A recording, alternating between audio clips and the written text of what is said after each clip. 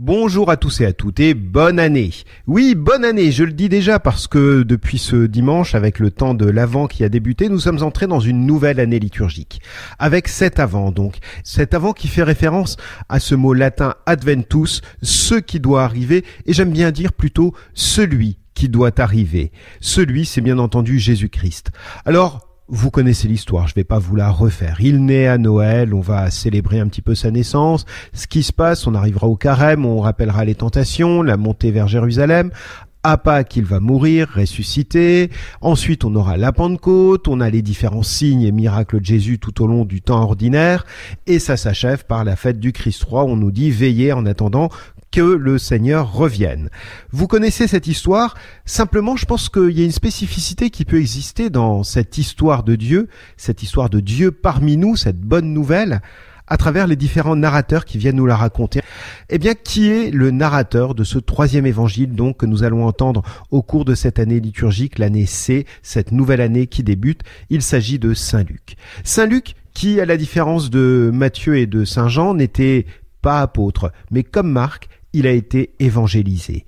Et il nous livre ce que lui-même a reçu. J'aime bien ce mot livrer, parce qu'il le donne, il nous l'envoie à travers cette transmission de ses mots, de ses paroles, de cette bonne nouvelle. Il nous transmet la foi qu'il a reçue.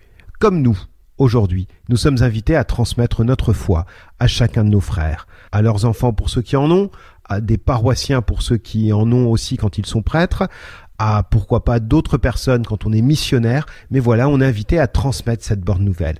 Ce qu'on a reçu. Alors la question qu'a reçu Luc et pourquoi un évangile encore? Je dis bien encore parce qu'il y en a déjà deux qui existent. Il y a l'évangile de Matthieu et de Marc qui sont écrits en cours d'écriture, qui commencent à circuler. Il y a des petits papiers avec les histoires dans les années 80, euh, les histoires sur Jésus euh, qui circulent.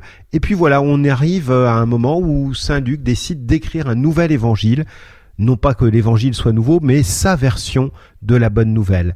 Parce qu'il vient euh, prendre un petit peu tous ces documents qui existent pour en faire comme une synthèse. Une synthèse qui l'ordonne. Selon quels critères? Quels sont les choix qu'il a fait pour garder une histoire plutôt qu'une autre, de mettre en avant tel texte plutôt qu'un autre? Je crois qu'en regardant l'évangile de Saint Luc dans son intégralité, on peut définir deux critères qui ont servi pour mettre en œuvre cet évangile. Le premier, c'est que la bonne nouvelle est pour tous y compris les plus éloignés, les non-juifs, les plus petits, les pécheurs. Saint Luc est capable, comme il a été évangélisé, qu'il n'est pas lui-même juif de Terre Sainte, mais qu'il était certainement juif d'autres euh, régions autour de, de cette Terre Sainte, dans cet Empire romain, eh bien il a cette délicatesse par rapport aux personnes, de leur dire, mais pour tous, Jésus-Christ est le Fils de Dieu et il est venu. Et regardez ce texte qu'on ne retrouve que chez Saint Luc, ce texte d'Emmaüs. Les disciples qui n'ont rien compris, voilà que Jésus vient vers eux, et il va continuer à leur redire cette bonne nouvelle, à leur réexpliquer. Le Christ prend le temps. Il sait qu'il nous faut du temps pour accueillir sa bonne nouvelle, et Saint Luc en est peut-être un des témoins particuliers à travers son évangile. Le deuxième critère qui est mis en avant dans l'évangile de Saint Luc et qu'on retrouve tout au long de ce texte, c'est le nouveau visage de Jésus, de Dieu, qui se révèle, à savoir la miséricorde. Regardez dans l'évangile de Saint Luc les textes qu'on ne trouve nulle part ailleurs, une fois de plus. Celui de la pécheresse pardonnée, du bon samaritain, du fils prodigue, il faudrait presque dire du père prodigue, celui de Zachée, celui du bon larron.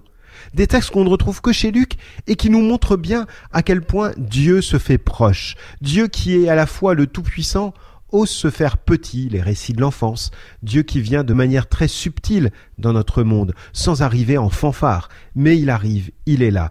Et lui, le Tout-Puissant, se fait proche, il se fait tout petit, il se fait celui qui, qui s'approche, comme le bon Samaritain, et qui nous pardonne, comme pour ce fils qui est parti et que le Père prodigue accueille.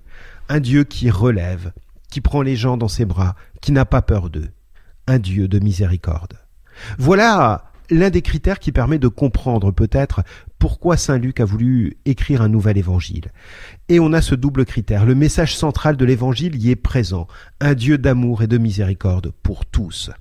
Alors le mérite de Luc, c'est qu'il a lui-même accueilli ce visage de Dieu. Un Dieu qu'il a accepté de voir différent de ce qu'il imaginait. Parce qu'on a tous une conception de Dieu. Une conception peut-être euh, héritée de nos ancêtres, héritée de ce qu'on nous a dit. Et en se trouvant affronté à ces textes, Saint Luc a accepté pour lui-même de voir ce visage de Dieu, cette figure de Dieu évoluer. Et il a accepté cette conversion, il est devenu un disciple missionnaire, comme nous-mêmes, nous sommes invités à l'être. Alors oui, cet évangile de Saint Luc, c'est aussi une nouveauté pour nous, comme elle l'était pour lui. L'évangile, ce n'est que le premier tome de ce que Luc écrit. Le deuxième, c'est les actes des apôtres. Et j'aime bien dire que le troisième tome, c'est toute l'histoire de l'Église. Et cette histoire de l'Église, elle n'est pas terminée. On est devant une nouvelle page. C'est à nous aujourd'hui de l'écrire. Alors à la suite de Saint Luc, acceptons de nous laisser transformer, transfigurer par cette bonne nouvelle, par ce Dieu qui nous aime, ce Dieu de miséricorde, ce Dieu qui vient nous rejoindre, ce Dieu qui veut se donner à tous. Bonne semaine, bonne année liturgique à tous et à toutes, et à très bientôt.